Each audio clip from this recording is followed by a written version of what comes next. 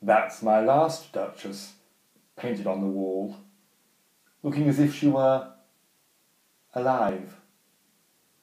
I call that piece a wonder. Now. Fra Pandolf's hands work busily a day, and there she stands. Will't please you sit and look at her? I said Fra Pandolf with design, for never read strangers like you that pictured countenance, the depth and passion of its earnest glance. But to myself they turned, since none puts by the curtain I have drawn for you but I, and seemed as they would ask me, if they durst, how such a glance came there. So, not the first to you to turn and ask thus. So it was not her husband's presence only called that spot of joy into the Duchess' cheek. Perhaps Fra Pandolf chanced to say, Her mantle laps over my lady's wrist too much, or Paint must never hope to reproduce the faint half flush that dies along her throat. Such stuff was courtesy, she thought, and cause enough for calling up that spot of joy. She had a heart, how shall I say, too soon made glad, too easily impressed. She liked whate'er she looked on, and her looks went everywhere. So it was all one. My favour at her breast, the dropping of the daylight in the west, the bough of cherries some officious fool broke in the orchard for her, the white mule she rode with round the terrace, all and each would draw from her alike the approving speech,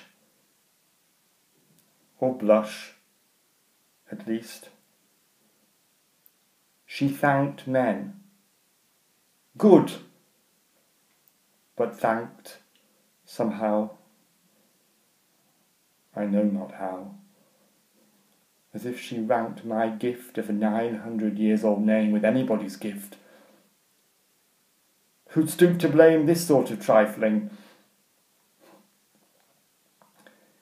Even had you skill in speech, which I have not to make your will quite clear to such an one, and say that this or that in you disgusts me. Here you miss, or there exceed the mark.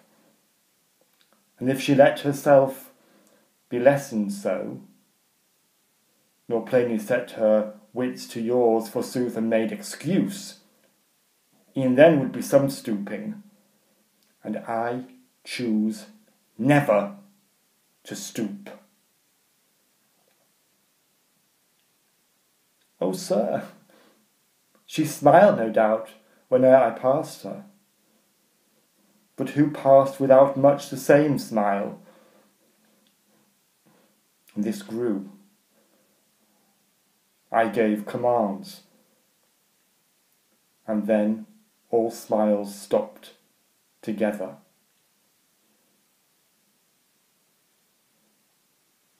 And there she stands, as if alive.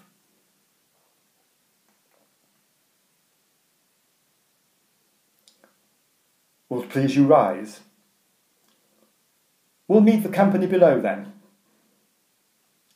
I repeat, the Count, your master's known munificence, is ample warrant that no just pretence of mine for dowry will be disallowed, though his fair daughter's self, as I avowed at starting, is my object. Nay, we'll go together down, sir. Notice Neptune, though, taming a seahorse, thought a rarity, which Claus of Innsbruck cast in bronze for me.